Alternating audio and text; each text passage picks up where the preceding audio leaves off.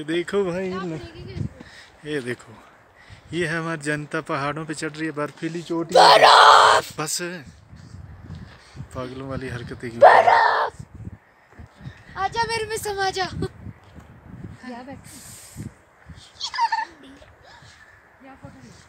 मेरे को बर्फ़ छुपा दे। इस पत्थर पे बर्फ़ छुपा